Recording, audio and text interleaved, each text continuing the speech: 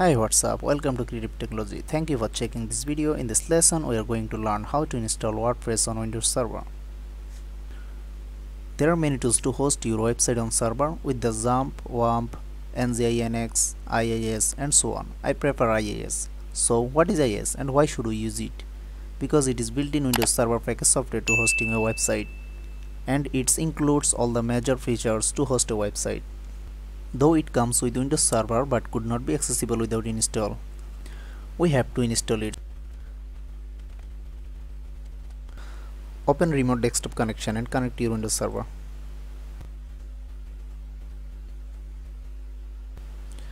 After opening your server, then go to use server manager.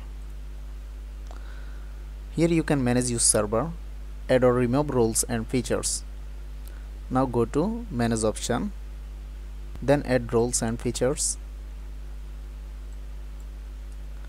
Then next next next.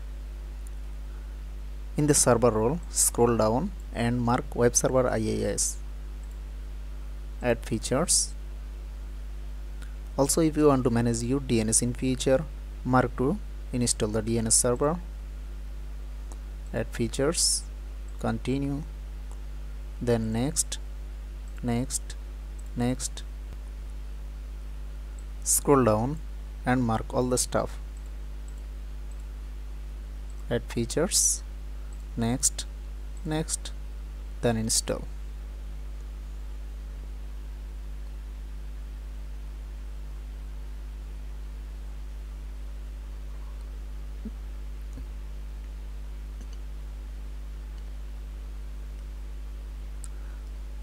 Wait some while to install all the features.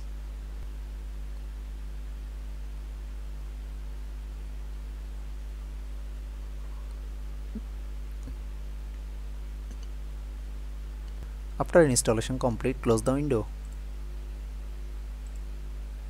Then open the start menu and type IIS. Then open the Internet Information Services Manager.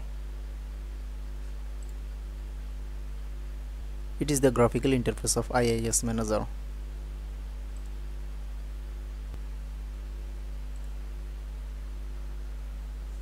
Go to sites and expand it.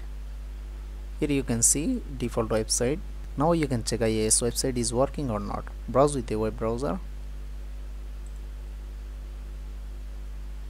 Web server successfully set up with my local host.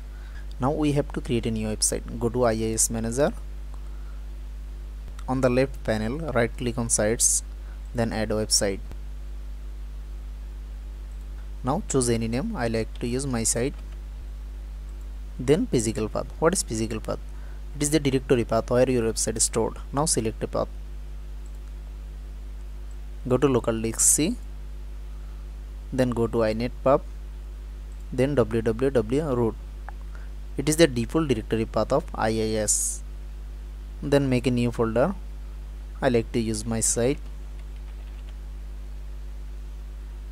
Then OK now bind website to server IP and port. If you have SSL certificate you can choose HTTPS otherwise HTTP now select your server IP address. Then choose any port. I like to use default web port 80 if you have a domain name you can use it as a host name. Then ok now go to my site directory. We have to create a simple html page with index.html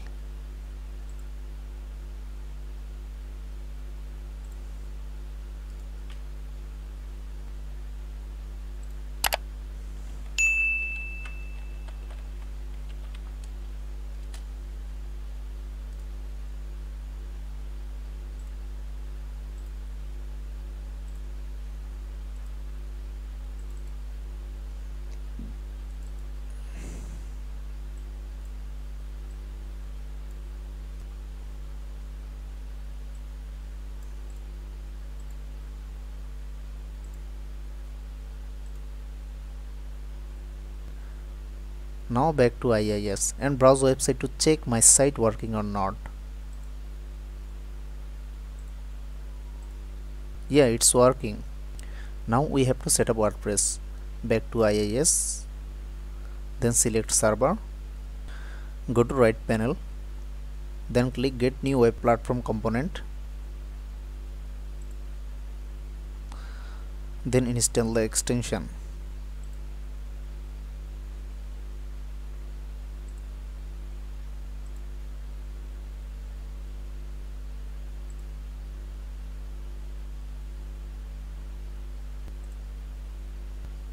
after complete installation back to IIS on the right panel then again click get new web platform components. Now type WordPress and hit enter. Now add WordPress item and then install.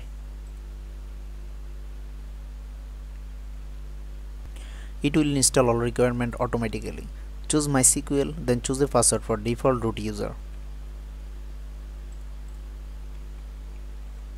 Then continue.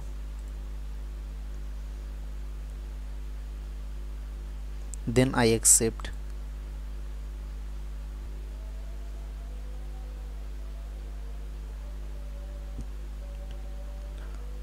Wait some while to install complete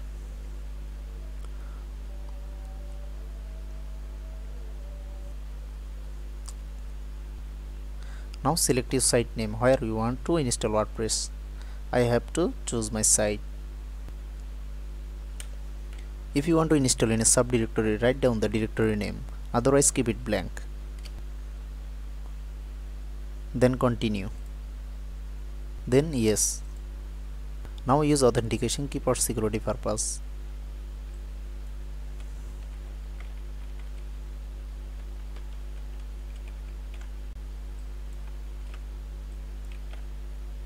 then continue. Wait some while to complete installation. Then finish.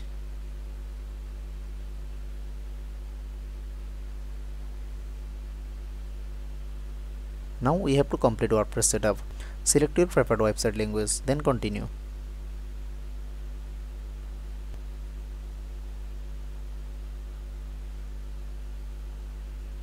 Now choose your website title. I like to use my site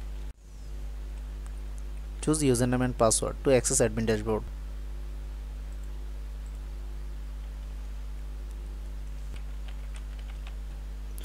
Now choose your email. Then click install WordPress.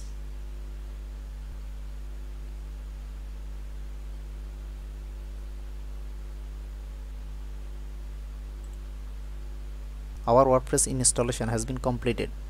Now back to IIS go to my site. Now browse website. Our WordPress site is public with server IP address you can access the website anywhere in the internet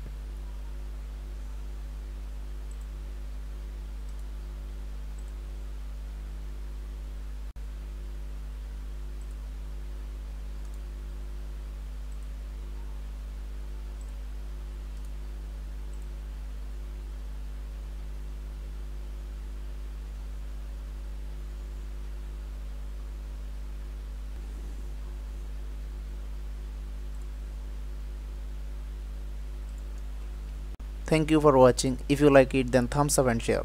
If you got any problem comment below and subscribe to stay with us.